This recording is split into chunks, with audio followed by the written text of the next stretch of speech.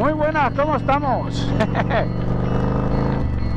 Me salido a dar una vueltecilla hoy y por aquí ando por, por Leganés. Sí, sí, algunos dirán donde el monstruo, efectivamente, donde el monstruo.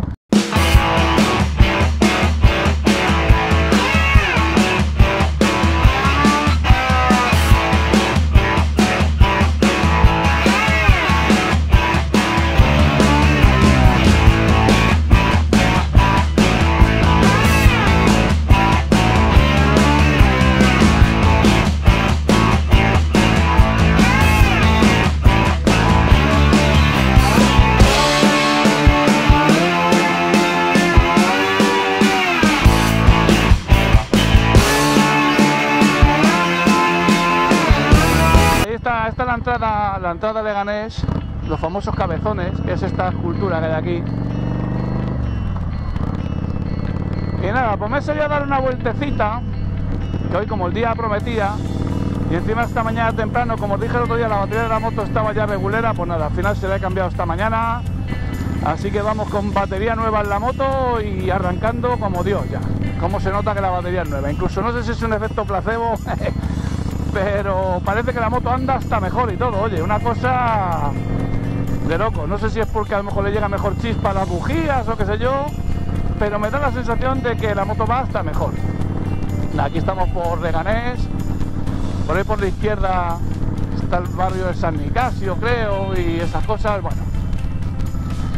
Y me, me he decidido a grabar porque digo, bueno, digo, estaba pensando que ha habido alguno que otro que me ha dicho que, joder, que qué guapa tengo la moto, que si mola, que las cosas que llevo y demás. Digo, coño, digo, pues a ver si encuentro un sitio guapo así en parquecito o algo que mole. Y os enseño un poco al detalle las cositas que tiene la moto, que no son de serie, lógicamente, porque las de serie, bueno, la moto viene muy peladita. Y, y a ver si encuentro un sitio, un sitio guapo donde pararme y bueno, yo os comento un poco lo que tengo puesto, lo que llevo y, y a ver qué os parece, a ver si os mola o no mola, bueno ya me diréis algo si os apetece ahí en la caja de comentarios y demás. Y bueno, por aquí a la derecha ahora vamos a un barrio que no sé, bueno, a muchos os sonará, otros no, el barrio de la Fortuna. Y a ver si por aquí, que hay bastante zona verde, pues encuentro un sitio que mole y nos paramos y os enseño las las cosillas de, de la moto. El cambio, de, el cambio de la batería, por cierto, por si alguien tiene una Vulcan y lo quiere cambiar, realmente es muy fácil. O sea, levantas del asiento, debajo del asiento hay una tapa con dos tornillos, eh, quitas esos dos tornillos y ya accedes a la batería fácilmente y a cambiarla. O sea, no hay, no hay ningún problema creo que he visto un sitio, así que me voy a dar toda la vuelta a la ruleta, como el chiste del gato. Si no lo sabéis, no me voy a poner a contarlo, porque, eh, bueno, digamos que es un, para más antiguo es un chiste de dos rombos. Joder, yo me quería meter por aquí, ya no voy a poder. Sí, aquí me di la vuelta, aquí me di la vuelta. Primera vez en mi vida que entro por aquí.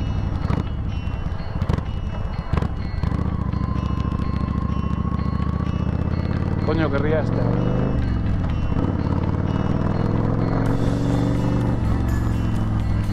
Bueno. No sé ni a dónde vamos por aquí.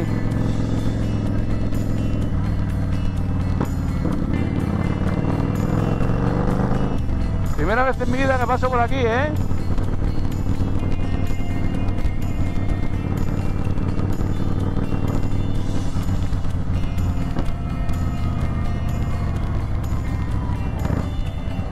Ah, oye, mira, aquí puede estar bien. Aquí puede estar... Aquí está mejor. Me quedo aquí. Y aquí esto tiene... Tiene mejor pinta, ¿no? Pues venga, pues aquí. Debajo del arbolito. Aquí nos quedamos. Bueno, pues ahí, nos vamos a bajar.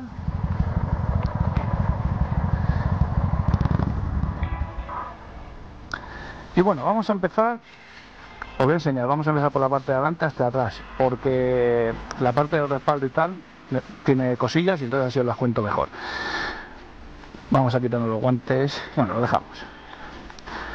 Delante, bueno, pues delante para empezar. La defensa. Pues esta defensa, eh, encontrar la original de Kawasaki es imposible y la de cualquier otra moto también.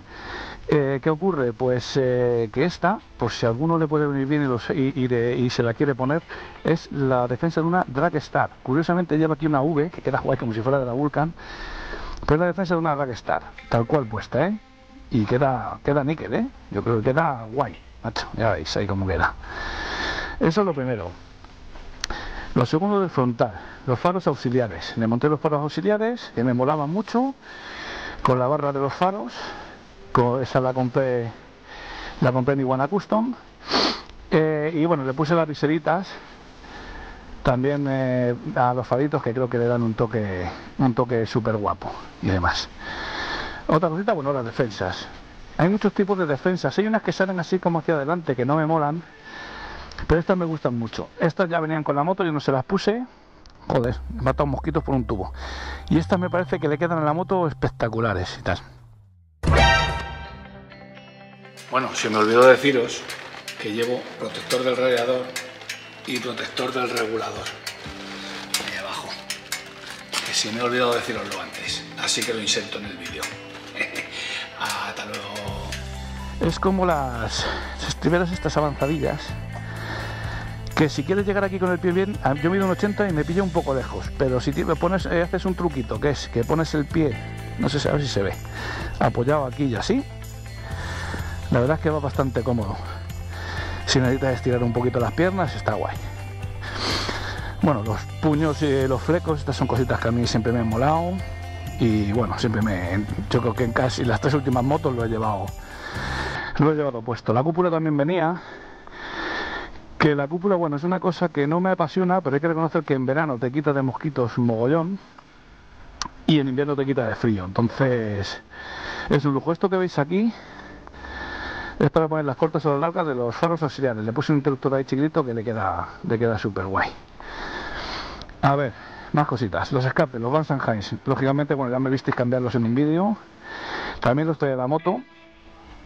Pero bueno, le monté los originales y luego los desmonté y monté estos para haceros el vídeo y para que lo pudierais ver cómo se montaba y se desmontaban las alforjas son las alforjas originales también si veis aquí la forma de, del logo de aquí de, de Vulcan.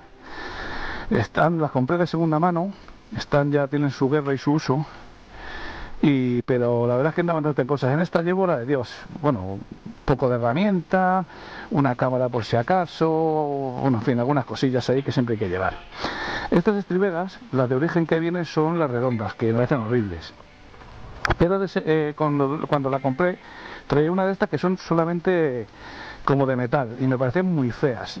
Pesaban muchísimo y vibraban un montón.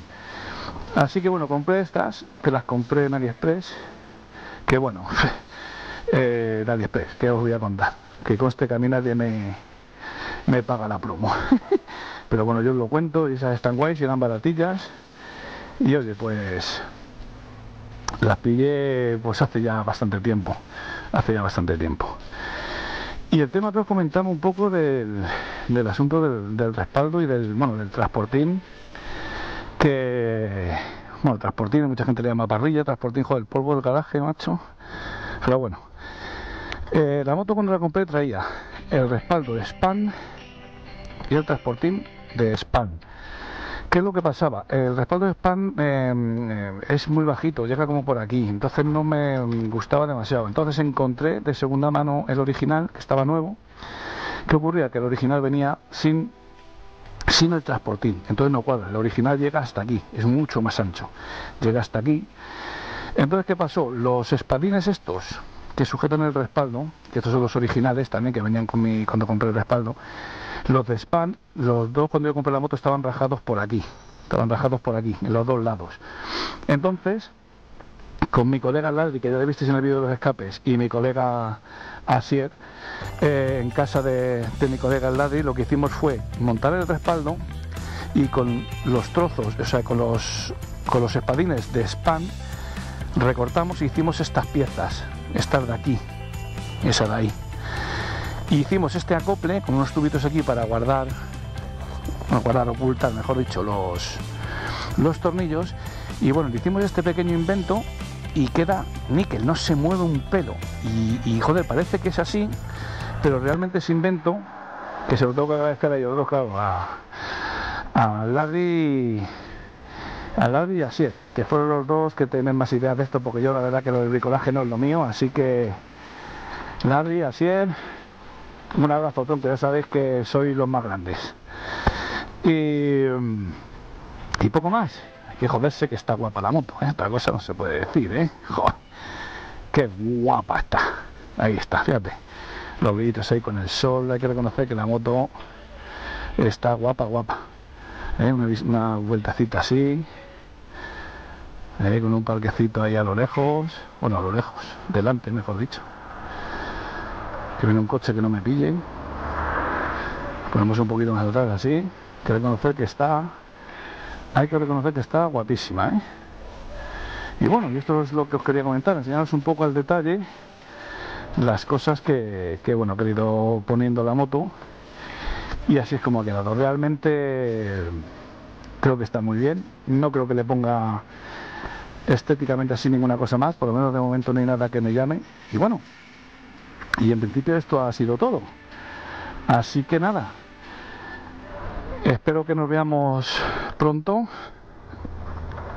en otro vídeo. Y bueno, chavales, a pasar un buen día. Hasta luego. Vamos a arrancar el bicho.